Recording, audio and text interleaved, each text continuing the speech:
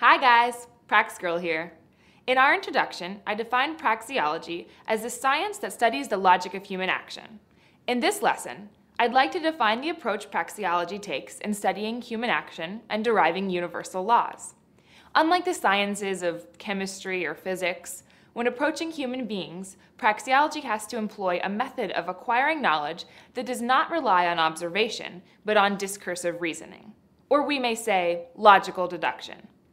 The laws of human action that praxeology arrives at are necessarily true and universal because they're logically implied by simple and undeniable facts. What would make a fact undeniable? A fact is undeniable when any attempt to deny it must prove it to be true.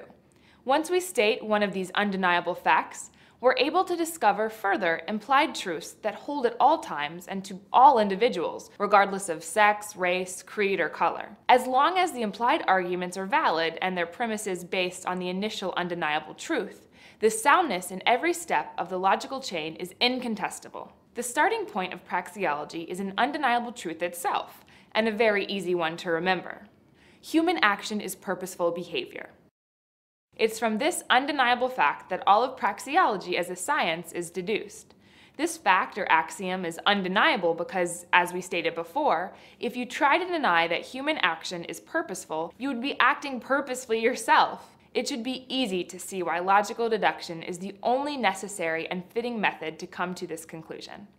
Before I go on, you might be asking yourself, is it appropriate to study human action through observation or what scientists like to call induction? To answer this, we need only to consider the separation between the objects that sciences like chemistry or physics study and the unique characteristic of human beings that we stated before in our axiom.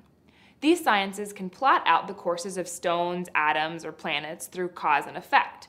But humans differ categorically in one key way. Human beings act. They have goals and purposes and they try to achieve those goals. Stones, atoms, planets have no goals or preferences, hence, they either move or are moved. They cannot choose, select paths of action, or change their minds. Men and women can and do. Sciences like chemistry and physics are able to investigate objects and classify them to their minutest details. They can turn our observable world into bits of data to quantify. People, on the other hand, cannot be quantified. Every day, people learn, adopt new values and goals, and change their minds. People cannot be slotted and predicted as can objects without minds or without the capacity to learn and choose. The action axiom shows that the uniqueness of all individuals is the logically necessary starting point for studying human behavior. There have been so-called scientists who have tried to disprove this notion and claimed that the methods of the natural sciences are the only true way to acquire knowledge of man and reality, but we can easily see how silly and futile their attempts are. Here we are at Grand Central Station. The hustle and bustle here is world renowned. I just want to drive home my example. I want to test two different ways of approaching human behavior.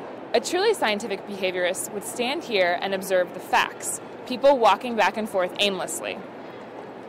A true student of human action would realize that the people have aims and goals. They're trying to get from work to home.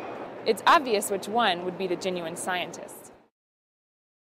To try and box humans into the type of predictable data and statistics that work in sciences like biology, astronomy, or geology is not only completely inappropriate, but is essentially a denial of the action axiom, a contradiction. Praxeology's method is one kept in the realm of thinking, precisely because as human beings we already contain the tools necessary to understand the purposefulness of action. What should also become apparent is that as certain as praxeology is of the uniqueness of all people, its explanations are also limited in scope by this fact. Logically, the search for complete predictability in the realm of human action is the search for the impossible and is therefore profoundly unscientific.